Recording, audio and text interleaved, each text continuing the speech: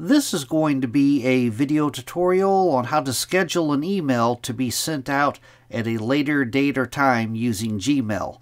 I will be using a desktop PC for this. Let me uh, jump over to my browser here.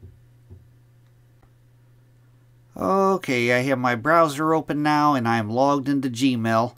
As you can see in the lower right hand side, I have begun to compose an email. Now if I want to send this email at a different day or time, it's very easy to do.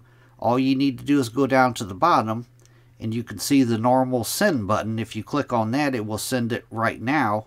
But there is a drop down arrow next to the send button.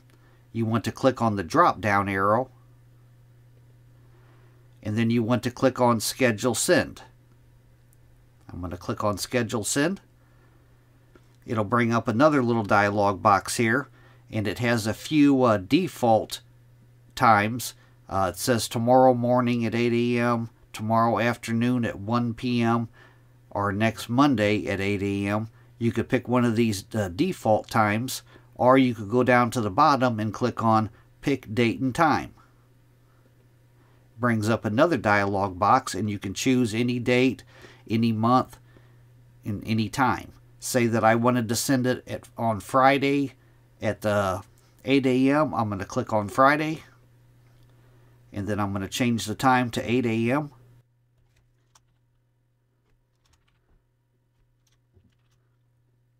and then I'll click on scheduled send.